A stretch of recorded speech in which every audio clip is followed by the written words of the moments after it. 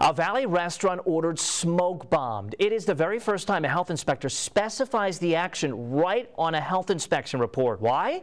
Get ready for the good, the bad, and the dirty dining as we reveal what's not on the menu in this week's Food for Thought. The health department orders Carta Brava restaurant on 811 East Washington in Brownsville to be smoke bombed for roaches.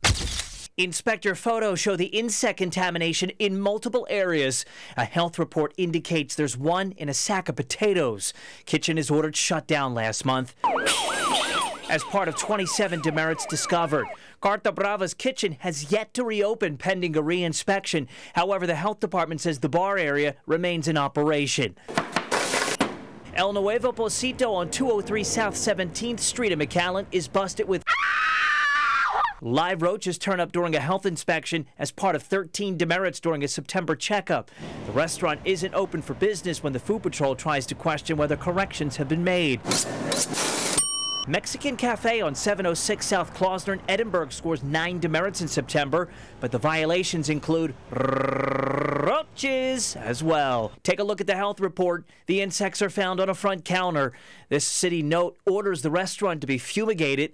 The dirty discovery doesn't sit well with Minerva Moreno. It's nasty and filthy and dirty. She considers herself a bona fide Food Patrol fan. One proof? Roaches. Her message to restaurants on the low performer list clean up. Because there's germs all over. Wendy's on 401 Dixieland in Harlingen is this week's featured top performer with zero demerits.